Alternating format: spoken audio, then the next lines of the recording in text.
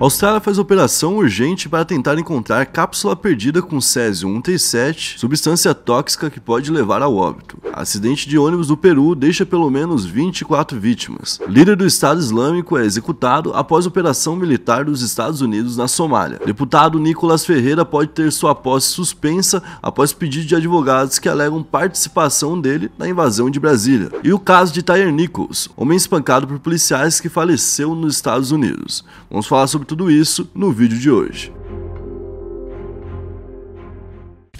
E aí pessoal, beleza? Meu nome é Bruno Fabio, esse daqui é o Planeta Novo e se você ainda não é inscrito no canal, vai se inscrever agora e deixar o seu like para ajudar a gente. No vídeo de hoje, a gente tem mais um absurdo da semana e hoje eu tô com o Lucas Filos aqui por trás das câmeras, inclusive hoje é domingo, então quando é domingo, a pessoa que vem tem direito de falar mal de alguém. E aí Fabio, e aí galera, tamo aí de novo, ó, dois finais de semana seguidos. É verdade, né? Final de semana passado falou mal de quem? Final de semana passado falei mal do Luca, Aí o problema é que agora eu já gastei essa, né? Essa mas pode manter com ah, tradição. Dá, dá pra manter então, porque acho que a gente vai mantendo pra ver o ranking de quem vai ser mais criticado falado, no né? de semana. Eu acho que eu tô zerado ainda. Não, eu acho que eu tenho umas críticas. Eu acho que tem faltado sim. uns finais de semana. Não, aí. e quando o Luca vem, ele chama você de vagabundo, daí pra baixo. É, é, é... não, então eu vou, eu vou manter. Minha, meu voto continua nele essa semana por questão de afinidade mesmo. Então tá. No final de três meses a gente vai eliminar um aqui do canal. Isso aí. Alguém vai ser demitido, a gente filma, a gente vai lá e perturba a pessoa. Vai ser da hora. Qual que vai ser a meta de like pro vídeo de hoje? A meta de likes é de 21 mil. 21 mil likes, então, ó, uma meta redondinha pra você aí em casa. E na quinta posição a gente vai falar sobre o Césio 137. Não estamos falando de Goiânia, estamos falando da Austrália. Isso porque conseguiram perder um pouquinho dessa substância aí altamente radioativa. Agora as autoridades locais estão fazendo uma espécie de busca apressada por uma cápsula que foi perdida e que contém dentro dela o Césio 137. Vale lembrar que se você for exposto ao Césio, né, você pode ter ali desde câncer até algo mais problemático, pode levar inclusive até a morte de uma forma até rápida, né? Essa cápsula tem apenas 6 milímetros por 8 milímetros, que dá mais ou menos o tamanho de uma moeda de 10 centavos, pra vocês verem que ela realmente é pequenininha. E ela foi perdida agora em janeiro entre um campo de mineração da cidade de Newman até a cidade de Perth, que fica a 1.400 quilômetros de distância. Então é um trecho que também não é muito fácil de você é, é, vasculhar inteiramente, né? né? É, é, literalmente uma agulha no palheiro, né? Porque é, uma Pensa uma moeda de 10 centavos num lugar. Em 1.400 quilômetros. Bem complicado. E o material naquele momento estava sendo transportado em um caminhão. E agora, uma varredura já foi feita do local de partida até o local que era o destino final. E o coordenador de saúde do estado, Wendell Robertson, disse que a preocupação deles é que alguém pegue o objeto e não saiba do risco. Que inclusive a pessoa possa levar para casa, guardar no carro, no quarto, ele falou, né? Ou até entregar para alguém. Que é o que aconteceu em Goiânia, né? A gente tem o caso de Goiânia, quando um catador de recicláveis encontrou o Césio, teve contato, levou para casa inclusive acabou tendo uma vítima fatal por conta desse caso aqui no Brasil, né? Então, para evitar que isso aconteça lá na Austrália, estão avisando ao máximo, né, que isso está perdido, mas é isso. Né? Alguém alguma hora vai encontrar, ou até não, né? Porque pode é, ser pode que. Ser que nunca encontre. Que nunca encontre. Mas é muito perigoso você ter algo assim, né? Solto por aí, Sabendo dando essa. alguém pode ser que. Dando essa bobeira, porque pode ser uma criança que encontra, inclusive. É. E vai lembrar que aqui no Brasil a gente teve 249 pessoas que foram contaminadas na época, né? Em Goiânia. E algumas delas acabaram falecendo algum tempo depois. Então é um caso que parece bobeira, parece algo mínimo, mas que pode levar à morte de muitas pessoas. Na quarta posição, a gente vai falar de um acidente envolvendo um ônibus no Peru que deixou pelo menos 24 vítimas até agora. Esse ônibus saiu da capital Lima e seguia a viagem até Tumbes, que fica lá na fronteira com o Equador, mas o ônibus acabou caindo um pouco antes ali numa área conhecida como Curva do Diabo, que é uma curva ao lado de uma ribanceira perto ali ao deserto, né? Uma área desértica que fica em órgãos. Ainda faltavam cerca de 260 quilômetros para chegar no destino final e o ônibus estava levando ali 60 passageiros. No momento da queda, vários deles foram arremessados pela janela e alguns outros ficaram presos dentro do veículo, né? Como a gente falou, 60 pessoas estavam dentro do veículo e pelo menos 24 já foram confirmadas como vítimas fatais. Então a gente pode ter esse número crescendo ainda mais. O que me estranha nesse local assim é que o local é conhecido por ter muito acidente e é isso, né? E é meio que isso. E, é, e, vai acontecer, vai continuar acontecendo se ninguém. Pois é, um, mudar dá o pra local, ver que é, é tipo um local isso. que é muito é. perigoso. Se você errar minimamente, você vai cair numa ribanceira enorme e vai ter muita gente morrendo. Infelizmente é meio que garantido que todo ano aconteça vai, algumas exato. coisas lá. É que nem a Serra Dona Francisca que tem aqui no, é, em Santa Catarina, tem algumas serras por aí espalhadas pelo Brasil, que nem tem, tem, a Serra de Petrópolis, lá tem a Serra do Rio do Rastro, que tem aqui, aqui também no sul. Pô, é, o lugar é conhecido já por ter um monte de acidente, mas não tem muito o que ser feito, né? Porque precisa ir de um lugar pro outro e pelo jeito não, não tem como construir É, outro caminho. E essa do Peru, a gente vendo pelas imagens, assim, dá pra perceber que realmente é um negócio bem assustador até quando tu vê uma imagem. Porque É. imagina dirigir ali um pouquinho que tu sai tu. Agora imagina um ônibus É. caindo naquilo ali, né? É, um ônibus. É, absurdo. Na terceira posição a gente vai falar sobre os americanos. Os Estados Unidos atacou, conseguiu executar aí um, um líder islâmico, né? Um líder do Estado Islâmico chamado Bilal al-Sudani. Ele foi executado numa operação militar dentro da Somália. A Somália, para quem não sabe, é um país que ele é africano, assim como o Marrocos, né? A gente teve Marrocos agora, que é um bom exemplo. É um país que é africano, mas ele tem ali a sua maioria árabe. Então, é, por conta disso, tem a presença de alguns, algumas lideranças de alguns grupos também que são envolvidos com, com vários problemas, né? inclusive problemas diretos com o governo americano. Por conta disso, ó- olha como o governo era direto com o governo americano, né? A operação foi ordenada pelo próprio Joe Biden, mano, pelo presidente. O presidente pediu essa operação.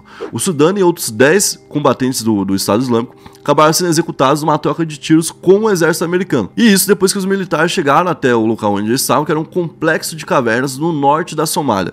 Então, é, inclusive, esse- essas cavernas foram utilizadas por, um- por um bom tempo pelo Bin Laden, né? Ele vivia embaixo da terra, literalmente. Eu lembro que uma vez encontraram a casa onde ele tinha, ele, ele tinha se mudado. Era uma casa, uma casa assim, que tinha uma portinha que era, sei lá, tipo, do tamanho pra passar um corpo só e mais nada, não tinha como passar mais nada. Tu entrava e tinha lá dentro. Que loucura, né? Imaginar um lugar desse. E aí, tipo, era no meio do deserto. Era tipo uma portinha marrom que não tinha como tu ver. Tu tava passando de helicóptero, tu passava, passava batido, tá ligado? E aí, depois de muito tempo, acharam o local. Ficaram um mestre em achar esses locais, né? Em, inclusive em invadir e passar por ali. E até a gente tem, por exemplo, o Chapo, que também utiliza de uma tática parecida, que constrói túneis ali no meio de, de montanhas e tudo mais, né? Então, é, os, vai, eles vão evoluindo, né? Chega uma hora que já não dá mais pra morar na cidade, vão morar onde? Vão morar dentro da terra, literalmente, né?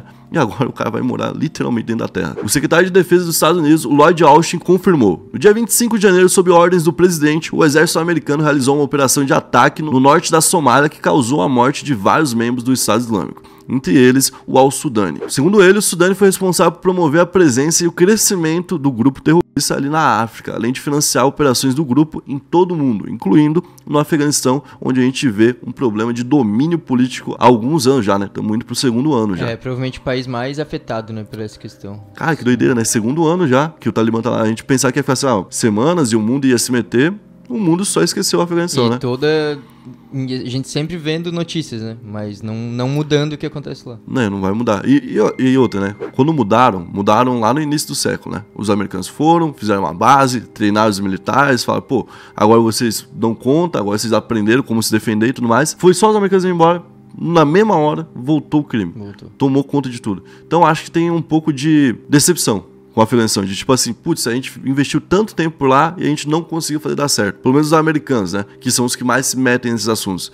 Então, eh, se os americanos não têm interesse no assunto, provavelmente ninguém vai ter também, ninguém vai ajudar o Afeganistão nesse momento, né? Na segunda posição a gente vai falar do caso Tyron Nichols, que é um homem, um homem negro, né? Que foi espancado por policiais ali nos Estados Unidos e isso acabou causando a morte dele três dias depois em um hospital. O ocorrido foi no dia 7 de janeiro e o óbito foi no dia 10. Mas somente agora as imagens do, do momento né, foram divulgadas e repercutiram na imprensa. E com isso chegaram também nas redes sociais. Né? Dia 7, o Tyler estava dirigindo em Memphis quando ele foi parado pela polícia por uma suposta infração de trânsito. Ele estaria tirando uma foto do pôr do sol enquanto dirigia. Até aí tudo bem, tudo normal se ele estava realmente fazendo isso, estava errado, a polícia tinha que parar, tudo tranquilo por enquanto. Só que nesse momento rolou um confronto entre ele e a polícia.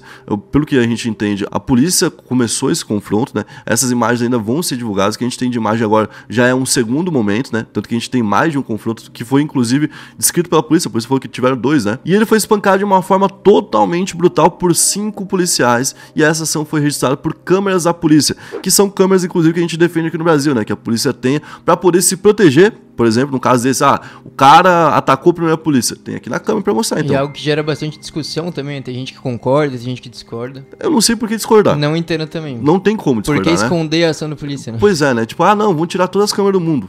É meio que isso, né?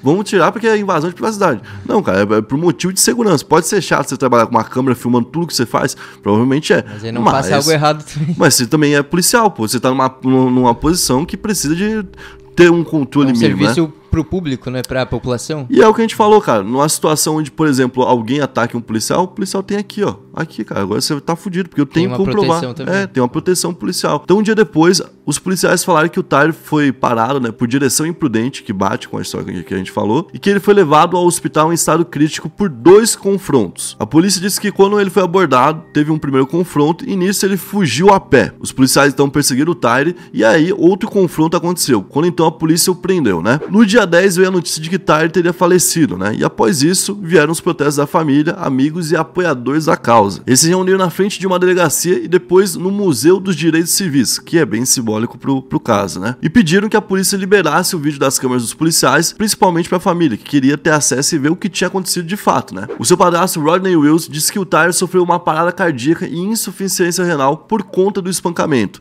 Inclusive, ele chega a reclamar de falta de ar durante as agressões, né? A própria polícia fala disso daí, né? Confirma. Exatamente. No dia 18, então, a Justiça dos Estados Unidos anunciou que abriu uma investigação por conta do caso. E dois dias depois, os cinco policiais envolvidos são demitidos da, da corporação após a investigação descobrir que eles usaram força excessiva, que foi filmado e por isso, ali, através das imagens, eles perceberam que realmente tinha sido uma covardia, né? Um outro fato importante descoberto é que os cinco policiais também são negros. E por que isso é importante, né? Recentemente a gente teve uma onda de protestos nos Estados Unidos, é, onde a polícia é acusada de alguma forma de perseguição contra os negros lá nos Estados Unidos, né? E aqui muita gente viu uma semelhança no caso do Tarek com, com essa luta e tudo mais, e ao mesmo tempo viu esse, é, essa, essa contradição, né? Por serem cinco homens negros batendo em um outro homem negro e utilizando de um poder ali, de um, de um cargo de poder, né, que é o cargo de policial, para poder fazer esse abuso. E nessa última semana, então, a família do Tyler conseguiu acesso ali ao vídeo, viu o vídeo e viu que ele foi espancado por três minutos seguidos, cara. E ali depois o vídeo acabou sendo divulgado para poder demonstrar o tamanho da covardia que foi feita. No vídeo a gente consegue ver dois homens batendo diretamente nele sem parar. Um outro homem é, aponta o spray de pimenta para a cara dele. Nisso ele tem que colocar a mão no rosto, né? Colocar a mão no rosto para poder tampar é, e tentar se proteger da, da, das pancadas e também do spray. E os policiais gritam com ele para ele colocar as mãos para trás como se ele pudesse de alguma forma. É. Ele tava tipo sendo espancado sem parar. Se e aí mas fazer alguma coisa, né? E aí os outros dois policiais que poderiam muito bem botar os dois braços dele para trás, poderiam fazer isso, eles vão lá e continuam batendo no cara. Eles se juntam e batem também no cara. Então depois de bater no Tyler, eles pegam o corpo do Tyler, levam até a viatura, colocam encostados na viatura e comemoram o que fizeram. Eles ficam comemorando como se tipo fosse um gol feito ali. E agora os policiais foram acusados de execução, agressão agravada, sequestro agravado, má conduta oficial e opressão oficial. Esse caso, ele já está se tornando um dos mais comentados lá, lá fora, né? Provavelmente ele vai ser um caso bem conhecido no mundo todo. Não tem qualquer tipo de explicação por enquanto a gente não consegue entender o que aconteceu. É, a gente até estava tentando entender se de alguma forma esses policiais tiveram contato prévio com ele, conheciam ele, tinha alguma, sei lá, qualquer motivo que fosse para poder fazer o que fizeram, porque realmente do nada cinco policiais se unem contra um homem, atacam esse homem e tiram a vida dele, sem mais nem menos. Só atacam o cara e tiram a vida dele. E olha a infração que ele estava fazendo, tirar uma foto enquanto estava dirigindo. É, e é tipo, é uma infração, porque... mas é uma infração bem da leve. Não é. tem nada de tipo que leve esse cara a ser considerado, por exemplo, perigoso, certo? Meio que independente da infração, o Exato. correto não é fazer isso, mas é, quando a gente pensa que foi uma foto, fica pior ainda, né? Fica tipo, uma questão absurda. Da assim. onde assim. surgiu tamanha raiva, sabe? Tipo, da onde que veio essa raiva pelo cara? Do nada.